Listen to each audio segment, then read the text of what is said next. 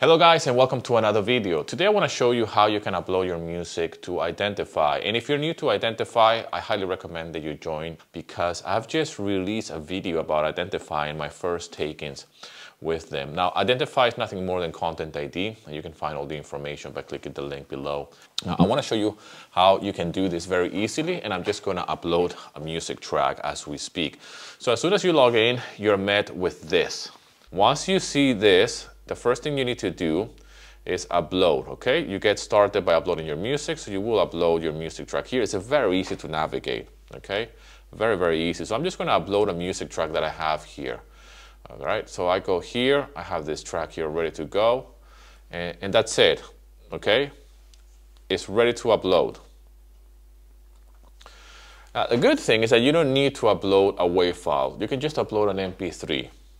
I upload MP3s just because, you know, it's just easier for me uh, to upload. I, I, mean, I don't need to have a, a bigger file or anything like that, but that's the upload process. Once it's done, you just click next and, and you will see your file there.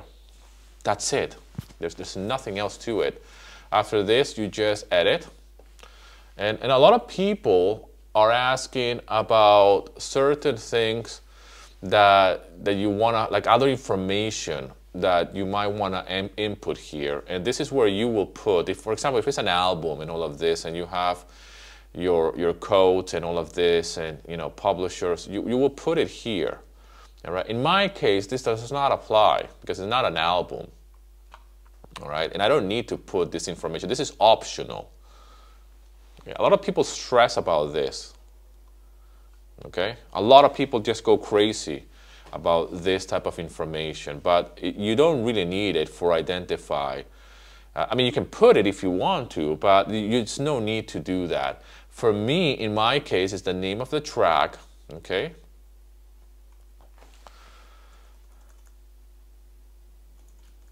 That's the name of the track, my name, all right? Oops, can't even spell my own name. That's how dyslexic I am. Okay? And that's the information you need. Okay? That's all you need. Uh, I don't I don't put anything here uh, on the optional, nothing at all. All right? Because it's optional, like I said to you, and there's there's no need to do that. But you can go and fill up everything if you wanted to. Uh, I do. I leave it like this, and this is what has worked for me so far. I mean, I'm sure there's other videos out there about identifying how to fill in all of this uh, with more detail. But this is just. I want to just do a quick video here that is practical for you. Click Save, and you can see that the track is ready to be submitted. And once you do that, you submit the track, and that's that.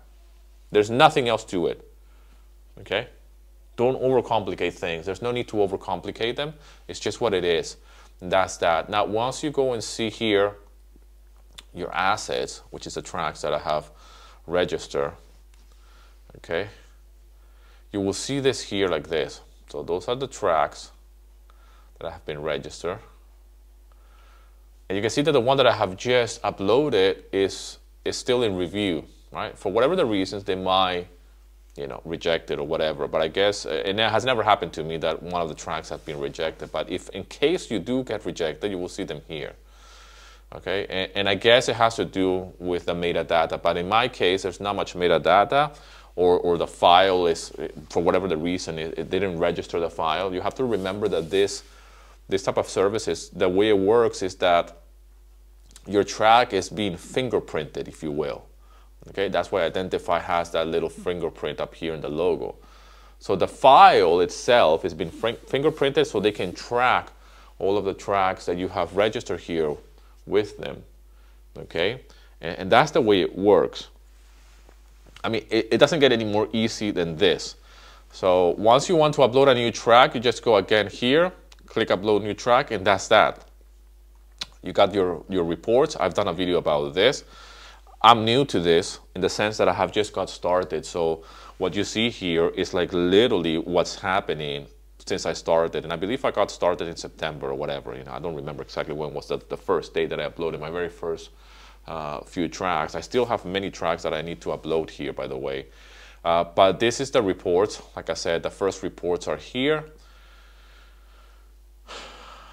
And, and slowly, you know, they start to, to stack up. I'm gonna have to make some more ambient music because that track is really picking up. I can see very quickly that it's probably the same YouTube channel. I think it's the same guys. I might do a, an in-depth videos about, about Identifyy as time goes by. Uh, but once you get your music, once you have your music register, you're gonna be able to see exactly where your track is being is played. Like I mean, my ambient track is, is played in, in this particular uh, YouTube video. All right, so you know, go figure. And you can find out a little bit more about who's playing your music, right? Who, who has taken that music track of yours and put it somewhere. So, you know, it's very interesting. I mean, to me, this is fascinating. I was, I was showing this to my wife last night uh, because she was curious about to see like, okay, so how does it work? She still doesn't really understand the, the, the whole thing behind it. So I was showing her the different videos. I'm not going to play them here to you right now because it's a little bit boring to just, you know, listen to some random videos about whatever and then see my music underneath it. But it's really fascinating to see how you can find your music like this with these services. Uh, you know, it's just crazy, man, to be honest. And it, it works wonderful.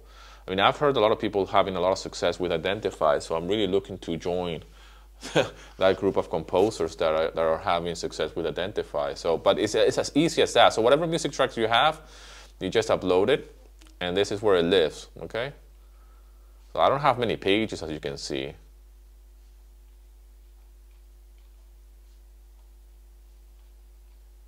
Man, I only have three pages. That's fuck all. I mean, I have 700 tracks.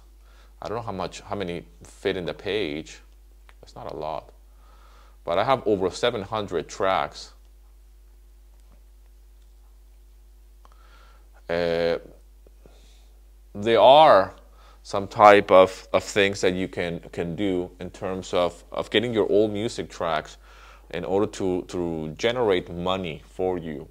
Because even if you don't have sales with those old tracks, there's still people that are taking those tracks. Like my friend said, they have sticky hands right? People have sticky hands and they like to take things away uh, from the internet and then they use it on YouTube. And that's where this kind of services come into play very, very well.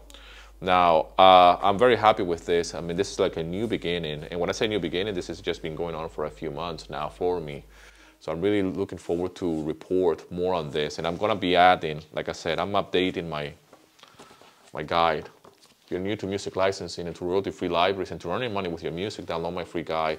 Identified as it is right now, it's not part of the seven steps, but I'm certainly going to add Identifyy because now that I have done it, and now that I have seen some result, and it's still early days for me, I'm definitely adding this because it's an important part uh, of any composer to be part of this.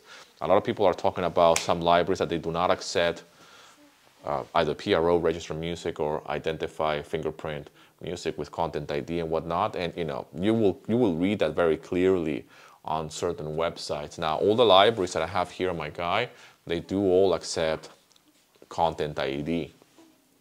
Okay, and if they don't accept a content ID, I will not join them. you see what I mean? Uh, with PRO, it's a different story altogether. You know, it's a little bit of a gray area. But with Content ID, you can't do anything because it, the, the file itself is being fingerprinted. And you know, for me, once I start seeing revenue, I'm in the business of making revenue with my music, full stop. So there's a library that says, I don't want your music that is registered with Content ID. I go, like we say here in Greece, and yeah, okay? Because I'm in the business of making money, and this has proved already in the early days that it's making me money. So I'm not gonna upload a music track that is being registered with a Content ID, or me, I'm not gonna risk not registering one of my music tracks and upload it to a library in the hopes that I might make some sales. But then leave the door open for people with sticky, hand, sticky hands grab my track. I'm not doing that anymore. I'm pretty sure I left a lot of money on the table over the years. And uh, many composers have advised me to join Content ID, and for whatever the reasons, I didn't. And my excuse was that that a lot of libraries do not accept fingerprinting. That's just a story I was telling myself. I was just being lazy, to be quite honest. I thought that this process was more complicated, but it's not. It's very easy, as you can see. Thank you so much for all the love and support, my friend. It really means the world to me that you're subscribing and leaving comments and showing love for the channel. Thank you so much. I'll see you in another video.